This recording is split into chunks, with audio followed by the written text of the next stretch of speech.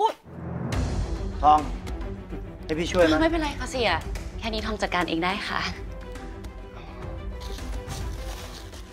เมื่อกี้สนุกไหมครับ สนุก สนุกไหมครับ สนุกอ้าวถ้าสนุกขอเสียงหน่อยเลยหมดแก้ว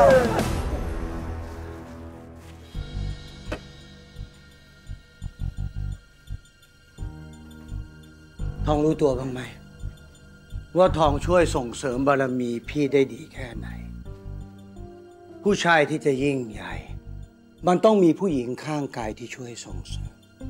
ตกลงว่าเสียเห็นทอง เป็นแค่นาฬิกาสวยๆ สักเดือน หรือรถหรูๆสักคัน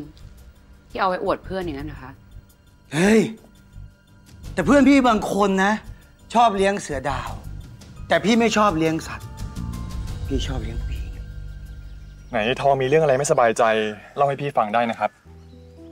ทองรู้สึกว่าตัวเองเป็นแค่ของเล่นชิ้นหนึ่ง ที่เสียมีไว้ประดับบารมี ถ้าเสียอยากดูอะไรสนุกสนุกก็จับทองกับมารีมาตีกัน อย่างเมื่อคืน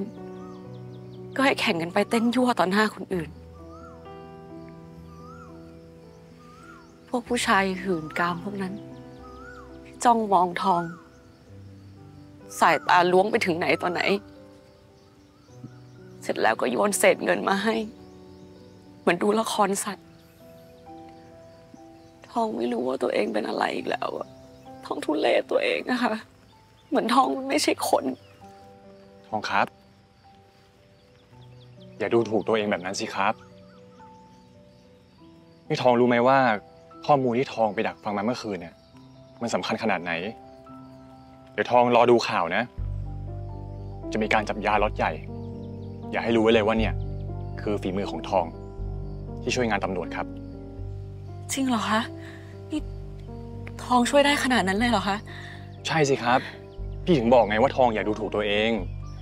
คุณค่าของคนเนี่ยมันอยู่ที่เรามองตัวเองทั้งนั้นแหละ ยังไงทองทนทำงานในบ้านนั้นไปก่อนนะ ถือว่าช่วยงานพี่ งานนี้มีเกียรติมากนะครับ ไม่ใช่ว่าใครก็ทำได้นะ ถ้าไม่เก่งและฉลาดจริง ๆอะทำไม่ได้อย่างทองหรอก